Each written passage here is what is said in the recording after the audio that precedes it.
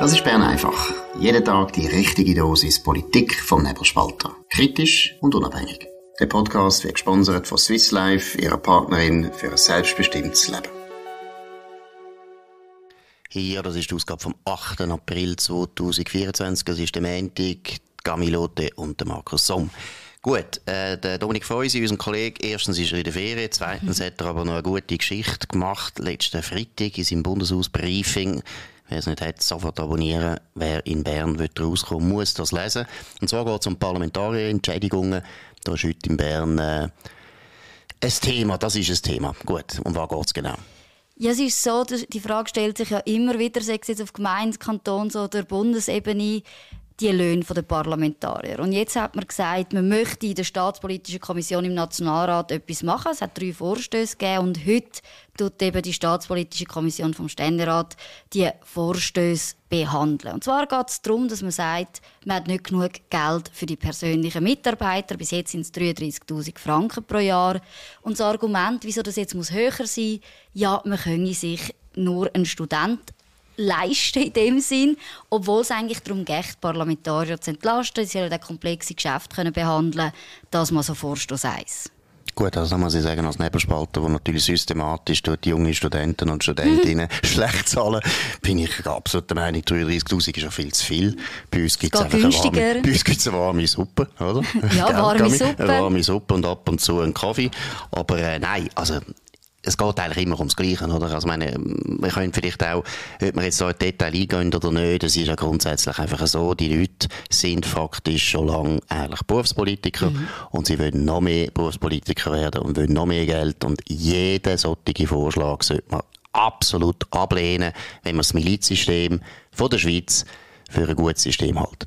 Ja, aber eben, es ist gerade das, was du sagst, eben, berufstätig sollte man eigentlich sein, aber die meisten sind Berufspolitiker geworden. Darum ist auch die AHV und die BVG natürlich ein Thema in dem Vorstoßpaket. Jetzt ist es so, die Löhne sind AHV-pflichtig. Bei der BVG hat man eine Pauschal, aber keine Beitragspflicht. Dort möchte man das verbessern. Man möchte auch eine obligatorische Unfallversicherung für Parlamentarier. Ich habe nicht gewusst, dass es im Bundeshaus so gefährlich ist.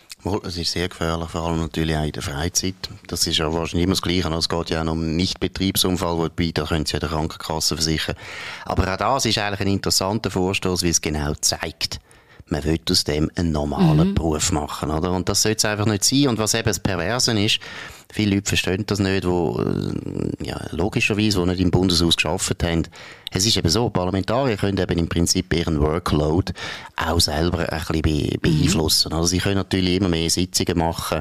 Sie können schauen, dass eine Sitzung äh, am Montag um 6 Uhr am Abend anfängt und dann eben auch eine Übernachtung drin ist. Mhm. Das gibt dann wieder eine Entschädigung. Und vor allem ist dann rein zeitlich viel, viel mehr, ist viel anspruchsvoller. Und das ist ja der Punkt, dass sie immer wieder jammern und sagen, ja, man kann gar nicht mehr anders. Mhm. Aber sie machen natürlich nichts damit das äh, effizienter gemacht werden kann. Und früher ist das auch gegangen. Und dann kommt immer natürlich sagen, ja, heute ist alles viel komplexer. Also ich muss sagen, bei dieser grossen Bundesverwaltung, wo sowieso unsere Parlamentarier immer alles durchwinken, muss ich sagen, das ist gar nicht mehr nötig. Und der automatische Nachvollzug von der EU haben wir ja auch noch. Eigentlich braucht man die Parlamentarier gar nicht mehr. Trotzdem stören sie sich an diesen vielen Sitzungen, weil Vorstoß 3 thematisiert Vereinbarkeit mit der Familie. Man sagt eben, es ist natürlich hart, viermal im Jahr, drei Wochen Session, dann ist man weg von der Familie. Und ja, da müsste man sich jetzt den Rhythmus neu überdenken, ob das nicht familienfreundlicher gestaltet werden kann. Also, dass man nicht nur sozusagen die drei Wochen viermal im Jahr ist, sondern dass man noch viel, viel mehr in Bern ist für kürzere Zeiten. Hm. Ich weiß nicht, was ich da soll sagen Irgendwie, erstens, normalerweise Es ist mehr ja, richtig Berufspolitik. ja, noch, ja, erstens, aber man hat ja auch entweder, man hat ja meistens noch einen Partner. Also die meisten sind ja nicht alleinerziehend, die im Parlament sitzen. Wäre auch nicht unbedingt gut, weil irgendwo ist das eigentlich, muss man jetzt auch mal sagen, nicht eine, eine günstige Konstellation, wo man sollte als Vorbild hinhält. Halten, wenn man alleinerziehend ist, hat man häufig nichts dafür. Deshalb will man das auch nicht denunzieren, aber man sollte es auch nicht unbedingt jetzt gerade als grosse Errungenschaft hinstellen. Aber noch eines, der Punkt ist der, Berufspolitiker ist klar, wie du sagst, oder? Am Schluss sind sie die ganze Zeit in Bern, mhm. so wie das in Berlin ist, wie das in Paris ist, wie das in Washington ist, oder wie das auch in Brüssel ist. Man hat das wahnsinnig gerne. Es ist auch immer so eine Schulreisstimmung im Bundeshaus. Man kennt sich alle, man hat sich alle gern, selbst über Parteigrenzen raus. Das ist eine eigene Klasse geworden und das ist nicht gut. Das ist nicht gut fürs Land, es ist aber auch nicht gut für die Politiker selber, weil sie verlieren, ein bisschen ähnlich wie wir Journalisten, die auch immer die ganze Zeit in unserem Bubble hocken. Wir verlieren den Zugang zu der Realität, mhm. zu anderen normalen Leuten. Und eine der grossen Stärken vom Milizsystem ist ja nicht einfach, dass es einfach günstig ist, sondern der Punkt ist der, dass der Volksvertreter eben wirklich immer wieder muss mit dem Volk zu tun haben. Das heißt, er hat einen Beruf. Mhm. Er ist vielleicht Krankenschwester oder er ist vielleicht Arzt oder sie ist Anwältin und dann hat sie mit Kunden zu tun, hat mit Klienten zu tun, hat mit Leuten zu tun. Und das ist ganz wichtig, dass ein Politiker überhaupt weiß, was soll er da vertreten. Ja, aber genau, wenn du die Vorstöße anschaust, geht es eben in die andere Richtung. Oder? Man soll mehr in Bern sein, man soll auch mehr Geld haben zur Unterstützung von dem Mandat ob die das dann wirklich ja nutzen und sagen, hey, ich brauche das Geld tatsächlich für einen persönlichen Mitarbeiter, ist ja die Frage auch noch offen, oder? Man kann das ja dann auch selber beziehen. Aber das Risiko... Ah, das darf man? Ja. Man darf selber beziehen? Ja. Du musst Gut, man kann natürlich so also beschissen. Man kann natürlich dem Partner nachher noch ein, mhm. ein, Mandat geben oder so. Aber also auch das, irgendwie, der geht doch eigentlich nicht. Also wenn man keinen persönlichen Mitarbeiter anstellt, dann sollte man das Geld dann nicht bekommen. Ja, es ist dann so die Idee, dann machst du die Arbeit selber, oder? Das muss man sich ja dann auch können leisten und sagen, ich kann die Zeit aufwenden und ich brauche keinen persönlichen Mitarbeiter. Aber im Endeffekt läuft es ja darauf raus, mehr Geld, mehr in Bern und noch mehr Absicherung, sei es jetzt BVG, Unfallversicherung, dass es wirklich einfach auf die Berufspolitik eigentlich rausläuft. Was ja auch interessant ist bei dem Thema, ist einfach, wir haben ja ein paar Volksentscheide zu dem. Und das Volk hat noch nie, so wie mir, so wie mir es recht ist, hat es noch nie eine Abstimmung gegeben, wo das Volk gesagt hat, ja, wir wollen, dass die Entschädigungen aufgehen, oder wir wollen, mhm. dass ihr Berufspolitiker werdet, oder wir wollen das und dies.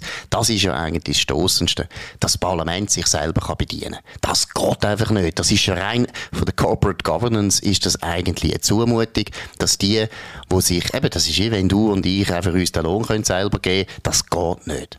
Es ist ein staatspolitisches Problem, dass du sagst, das Organ, wo sich der Lohn, wo der Lohn bezieht, noch selber kann über die Höhe debattieren und darüber entscheiden und dass du teilweise auch gar nicht politisch kannst dagegen unternehmen. Es gibt wenige Fälle, wo das geht. Die Gut, man kann Referenden ergreifen ja. oder Volksinitiativen machen. Das müssen wir mhm. unbedingt, weil ich glaube, das muss man jetzt einfach stoppen. Eben, dass es nicht von alleine durchkommt, sondern du musst wirklich als Bürger, als Wähler, musst du aktiv werden und sagen, ich möchte, dass es überhaupt durchkommt, um über die Entschädigung zu entscheiden. Sonst können sie sich das einfach selber geben. Genau, und ich würde jetzt das andere Argument noch einmal vertiefen, noch einmal aufnehmen, nicht vertiefen, nur schnell noch einmal sagen, dass die Leute das richtig verstehen. Es sind zum Teil die gleichen Parlamentarier, die mit wehenden Fahnen jetzt den sogenannten Rahmenvertrag oder die Rahmenverträge unbedingt wollen und wollen zustimmen. Das sollen sie machen. Aber wenn sie das machen, dann finde ich wirklich, es braucht erstens keine höheren Entschädigungen mehr, weil es dann ziemlich viel politische Themen gar nicht mehr schaffen müssen, weil Brüssel schafft nachher für sie. Mhm. Sie tun im Prinzip einen grossen Teil von ihrer Gesetzgebung, Gesetzgebungsaufgabe sie auslagern auf Brüssel. Brüssel, oder besser gesagt, Funktionäre von Brüssel machen dann für uns Gesetze. Also ich muss wirklich sagen, dann kann man das Parlamentarier, Parlament, Parlament abbauen, dann brauchen wir nicht mehr 200, sondern dann langen vielleicht noch 100. Mhm. Das wäre vielleicht auch eine Halbierungsinitiative, wo man dann müsste ins Auge fassen. Nein, es ist nämlich wirklich mhm. pervers, dass die gleichen Leute, die eigentlich wirklich unsere ganze Gesetzgebung, nicht die ganze, aber einen grossen Teil wollen auslagern noch kurz behend, sich für das noch besser zu zahlen lassen. Also ist eigentlich eine Zumutung. Gut, gehen wir zu einem anderen Thema. Die FDP Schweiz hat äh, ja, das ist interessant, zum Wohnen sich vernehmen Genau, Sie haben heute zur Medienkonferenz eingeladen und halten zuerst mal fest, eben im letzten Jahr sind nur 35'000 Wohnungen gebaut worden. Zuwanderung aber im sechsstelligen Bereich. Und der Christian Wasserfall, der FDP-Nationalrat, hat gesagt, das ist ein neuer Minusrekord. Und darum wenn Sie die Thematik vom Wohnen angehen. Sie haben einen Sechs-Punkte-Plan entwickelt. Muss man ehrlich gesagt sagen, nichts wirklich Neues. Probleme, die man schon lange kennt, Lösungen, die zum Teil auf dem Tisch wären. Ihnen geht es darum, dass man Bürokratie abbaut, dass man verdichtet. Der Slogan ist ein Stock höher. Sie sagen aber, es darf auch gerne mehr sein, also man muss in die Höhe verdichten. Man braucht auch weniger strenge Regelungen, was, was den Lärmgrenzwert zum Beispiel anbelangt. Ja, es ist so ein bisschen die, die klassischen Mittel der bürgerlichen Politik im Wohnbau. Gut, also erstens, dass alte Rezepte sind, das spricht ja nicht mhm. gegen die Rezepte. Nein, wir, vertreten, nicht. wir vertreten da ja immer wieder den gleichen alten Schrott. Das mhm. ist ja unsere Aufgabe. Nein, aber der Punkt finde ich vor allem wichtig, also Bürokratie abbauen, unbedingt, Denkmalschutz kaputt machen, Heimatschutz auflösen, nein, ist jetzt alles übertrieben, mhm. aber wir haben wirklich, das Pendel muss jetzt einmal in die andere Richtung schlagen. Es ist so mühsam geworden, vor allem in den Städten, vor allem in Basel, in Zürich, in Genf, in Bern. Es ist so mühsam geworden, können zu bauen. Es gibt so viele Vorschriften, es gibt aber auch Einsprachen. Es gibt einfach ein unglaublich byzantinische Wirrwarr, das muss aufhören, sonst können wir nicht mehr bauen, das stimmt. Das Zweite, ich bin bei der Verdichtung bin ich also, muss ich schon sagen, hin und her gerissen. Weil erstens, wenn man einfach sagt, ja, man kann jetzt höher bauen, das gibt einen massiven Druck auf die Altsubstanz. Dass man nachher mhm. eben wirklich die schönen Häuser alle äh, abreißt, die 100 Jahre alt sind.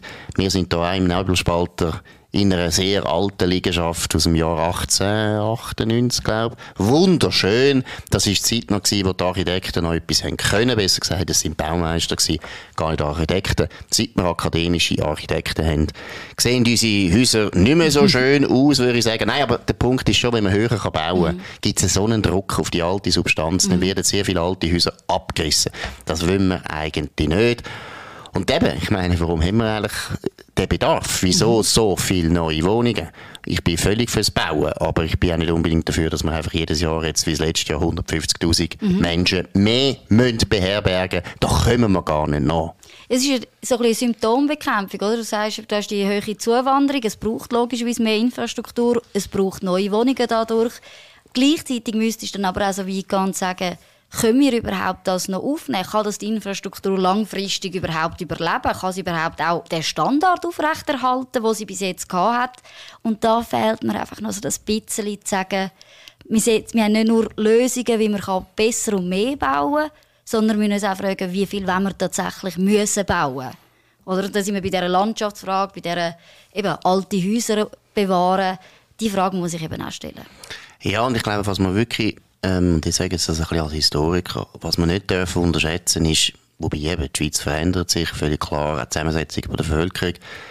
Aber eigentlich gehört es natürlich ein bisschen zum Reiz der Schweiz, dass wir keine richtig grosse mhm. Städte haben, dass wir eigentlich Dörfer haben, kleine Städte und so weiter. Zürich ist jetzt mit 400, glaube 450.000 Einwohnern, das ist obere Grenze für das, was wir rein kulturell normal findet in dem Land. Es ist einfach so, man kann das bedauern und sagen, ja, wieso wollen ihr nicht in Shanghai leben und so weiter. Ja, das wollen halt die Schweizer halt nicht. Und ich glaube ja, die meisten Leute, die zuziehen in die Schweiz, sagen ja genau das. Mhm. Ich meine, du hörst das auch ganz viel, du hast ja viel zu tun mit Expats und so weiter ich kenne fast keinen Ausländer, der nicht sagt, es ist so schön, dass die Wege so kurz sind in der mhm. Schweiz, dass Zürich eben auch eigentlich eine Kleinstadt ist, mhm. wo alles hat, aber ich muss nicht irgendwie wie in Paris oder in Berlin vier Stunden im Tram hocken, bis ich irgendwo kann go, äh, go einkaufen. Das ist ein riesen Vorteil, aber es ist auch kulturell. Wir sind Kleinstädter. Mhm. Wir sind Kleindörfler. Wir wollen nicht Hongkong. Wir wollen in mhm. Hongkong. Und da, wo da immer wieder gesagt wird, Verdichtung und so weiter, ja, das hätte man in Hongkong auch müssen machen. Warum? Weil man das Territorium nicht mehr hätte können ausdehnen, mhm. weil die Chinesen natürlich keine neuen Territorien abgegeben haben. Und dann hätte man müssen verdichten und gehen jetzt mal auf Hongkong, wie das aussieht. Mhm. Faszinierend. Aber ich glaube nicht, dass wir wollen, dass Grenchen oder Langenthal so aussehen. Wir wollen dann vielleicht nicht, dass Basel-Stadt sich verändert. Wir haben nämlich dort sicher noch eine kurze Meldung, wo wir sagen, es waren ja Wahlen gewesen am Sonntag. Und der frühere SP-Nationalrat, der Mustafa Atici, ist dort jetzt in die Regierung gewählt worden. Genau, wir gratulieren. Das ist, glaube ich, es ist immer so eine Sache, gell? Jetzt sagt man da wieder, das ist der erste Regierungsrat mit Migrationshintergrund. Mhm. Ja, Entschuldigung irrsinnig viele Bundesräte, zum Beispiel von uns, haben auch Migrationshintergrund. Entweder äh, haben sie eine französische Mutter gehabt oder einen deutschen Vater. Oder, also, Migration ist ein Thema, das die Schweiz seit dem 16. Jahrhundert begleitet. Von dem her bin ich immer ein bisschen vorsichtig. Also, haben wahnsinnig viele Leute in unserem Land, haben Migrationshintergrund. Aber wir gratulieren. Mhm. Ich kenne den Mustafa Atici eigentlich nicht richtig gut trotzdem, dass ich da in Basel geschafft habe, ich kann ganz wenig Intelligenz dazu sagen. Ich kann einfach sagen, die SP hätte so eine starke Stellung in Basel-Stadt, dass sie, das tönt jetzt wieder blöd, Sie kann eigentlich jeden aufstellen. Das ist ein bisschen wie der Stadt Zürich, oder? Die SP kann auch jeden aufstellen. Aber ich will nichts gegen Atici gesagt haben. Ich weiß es nicht, keine Ahnung. Ähm, Aber wir bleiben ja. gespannt. Er hat immerhin den Sitz von Beat Jans ja übernommen. Mal schauen, wie das jetzt weitergeht, dass wir das anschauen, was bringt der Mustafa Tici für Basel-Stadt. Genau, und es ist eigentlich völlig egal, wo er herkommt. Er soll einfach eine gute Arbeit machen, was bei einem Sozialdemokrat schon wahnsinnig viel wäre. Also da wären wir schon sehr zufrieden. Gut, gehen wir noch zu einem Thema, das ähm, die EU betrifft, äh, unseren Lieblingsverein da. Äh, Umfragen in der EU sind bekannt worden. Was sind dort die wichtigsten Resultate? Ja genau, am 9. Juni sind ja Wahlen und alle machen sich logischerweise Sorgen, wie das rauskommt bei den Parteien in den Ländern. Und jetzt gibt es von der Ipsos gibt's eine Umfrage, die sie gemacht haben für die Newsplattform Euronews. Und dort ist es grundsätzlich um die Zufriedenheit gegangen mit der EU-Kommission. Und 63 Prozent ist unzufrieden oder hat keine Meinung zu der EU-Kommission. Also man findet auch keine Mehrheit, die sagt, ja, mal, die machen einen guten Job. Nur drei Mitgliedstaaten haben eine Mehrheit gesagt, sie sind zufrieden mit der Arbeit. Portugal, Dänemark und Spanien. Die sind zufrieden. Dann der Tiefpunkt ist bei Österreich. Dort sehen doch 41 Prozent das einfach negativ. Und das Erstaunliche aber an dem Ganzen, dass man doch sieht, es hat viel Kritik dran wir finden praktisch überall eine Mehrheit für die EU-Mitgliedschaft, außer in Tschechien. Ja gut, aber da muss ich jetzt ehrlich sagen, da bin ich jetzt sehr überrascht, dass die Tschechen den Mut haben, das mhm. überhaupt zu sagen, weil es braucht eigentlich Mut, dass man sagt, wir können ohne EU, weil es ist noch interessant, ich meine, die meisten Leute offensichtlich in der EU haben das Gefühl, es geht nicht anders. Sie sind zwar nicht zufrieden, mhm. aber sie finden, ja, es geht nicht anders. Es war ja dort auch, gewesen, wo der Brexit beschlossen worden ist von den Engländern. Noch heute behaupten alle Leute in der EU ja, dass ist jetzt die Gottesstrafe, dass äh, England geht nicht mehr so gut dabei ist. England seit 30, 40 Jahren nicht gut unterwegs und zwar eben auch schon nicht gut unterwegs gewesen. Und der EU hat überhaupt nicht geholfen. Man hat ja eigentlich das Gefühl gehabt, es bringt etwas, aber es hat eben beides nicht äh, geholfen. Gut, der Punkt ist, die EU zeigt doch immer wieder, dass die Mitgliedstaaten eben alles alte Monarchien sind, wo man ein bisschen über den König früher geschumpft hat und dann ab und zu eben in Paris mhm. ist man ab und zu auf Barrikaden oder in Spanien hat man auch ein bisschen gewäffelt und so weiter. Aber am Schluss vom Tag sagt man, ja gut, es ist halt wie es ist. Mhm. Da gibt es eine Obrigkeit und die macht jetzt das einfach und mir kommt das ein bisschen so vor. Es hat schon etwas von dem, vor allem wenn man die höheren Zustimmungswerte für die EU-Mitgliedschaft anschaut. Es ist, es ist so und es ist eigentlich gut so. Mein anderer Gedanke war immer, wie weit ist natürlich auch die EU-Kommission bei den EU-Bürgern, dass man kann sagen hey, ich kann wirklich sagen, ich finde das aktiv schlecht, was die machen, weil es ist so ein bürokratisches Geflecht, zum als Bürger, was sich vielleicht nicht jeden Tag für Politik interessiert, können sagen, das hat die EU-Kommission falsch gemacht, das ist nicht so, wie ich das will, sondern es ist so abstrakt, es ist weit weg und dann wirklich können sagen, mit dem sind wir unzufrieden, finde ich noch eine Herausforderung.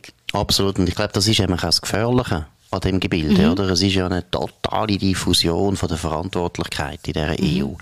Man hat ja eben, man hat zwar die 27 Mitgliedstaaten und man hat dort Regierungen, wo alle gewählt sind, demokratisch gewählt sind, aber nachher in Brüssel kommen die Regierungen zusammen und machen den Entscheid, wo es auch Mehrheitsprinzip mhm. gilt. Das heißt eben, dass ich als einzelner Bürger auch bei den Wahlen, wenn ich meine eigene Regierung abwähle, weil ich finde, die EU geht in die falsche Richtung, ich habe null Einfluss mhm. auf die Politik von der EU. Also das, was in der EU passiert, wo in allen EU-Mitgliedschaften enorme Folgen hat. Mhm. Die meisten Bürger unterschätzen nämlich, mhm. wie viel das Brüssel schon alles entscheidet. Wenn die deutsche Autoindustrie jetzt irgendwie bald mal kaputt geht, dann hat das mit Brüssel zu tun, nicht mit Berlin. Das wissen die Leute aber eigentlich nicht, weil, und das ist schon das Raffinierte an dem Gebilde, dass einfach die Verantwortlichkeit ist nicht mehr klar. Und ausbauen musst du es ja dann auf der nationalen Ebene, oder? Wenn du, wenn du dann merkst, dass gewisse Regulierungen negative Auswirkungen haben für die Mitgliedstaaten, dann wird das auf nationaler Ebene diskutiert. Du musst auf nationaler Ebene anstehen und irgendwie das verteidigen als Politiker. Die werden als die Verantwortlichen wahrgenommen. Und dann sagen, es ist die EU, ist immer ein schwierig, weil es ist einfach nicht greifbar. Genau, und das ist wirklich gefährlich, weil es eigentlich eine Unterminierung darstellt von der Demokratie, oder? Weil wenn ich als Wähler, und ich meine, die anderen Länder jetzt außerhalb von der Schweiz, die sind ja alle, sind alles repräsentative Demo Demokratien, das heißt, sie haben eigentlich einfach alle vier Jahre Parlamentswahl oder alle fünf Jahre oder so. Und das ist der einzige, wirklich, die einzige Möglichkeit, dass du kannst als Bürger Einfluss nehmen auf Politik, was ja eigentlich der Witz ist von der Demokratie. Mhm. Und wenn das keinen Einfluss mehr hat auf die Gesetze, die in deinem Land gelten, weil es halt einen Mehrheitsentscheid gegeben hat, wo du, deine Regierung nicht einmal dafür schuld ist, dann höhlt das natürlich die Demokratie aus oder höhlt auch vor allem das demokratische Bewusstsein aus. Und am krassesten hat man ja das dort in Griechenland erlebt in der Eurokrise, wo die EU eigentlich einen Austeritätskurs den Griechen aufgedruckt mhm. hat, wegen dem Euro, damit man den Euro kann retten kann. Und die Regierung, oder besser gesagt, nein, das Volk in Griechenland hat dann mhm. extra eine andere Regierung gewählt, die gesagt hat, wir machen es nicht so, wie es die EU will. Und dann haben sie ja dann das gleich gemacht. Deshalb ist ja der schillernde Finanzminister Varoufakis nachher zurecht gegangen, weil er gemerkt hat, hey, ich kann gar nichts anrichten. Es wird sicher spannend, wenn wir auf den 9. Juni schauen, aber ich glaube, was wir festhalten so als mein Fazit, die Bewegungen von aus der EU austreten, die sind ein bisschen durch im Moment. Ich glaube, es ist mehr, es läuft aus einer Kritik von innen. Mal schauen, wie erfolgreich es wird sein. Genau, und das war es heute an dem 8. April, am Montag 2024, der Camilote und der Markus Somm auf Bern einfach auf nebenspalter.ch, könnt uns abonnieren auf nebenspalter.ch, Spotify, Apple Podcast und so weiter, könnt uns weiterempfehlen, könnt von uns, könnt von uns reden, könnt euren Freunden von uns erzählen, könnt uns hoch bewerten. Wir hören uns wieder morgen zur gleichen Zeit auf dem gleichen Kanal. Das war Bern einfach, gesponsert von Swiss Life, ihrer Partnerin für ein selbstbestimmtes Leben.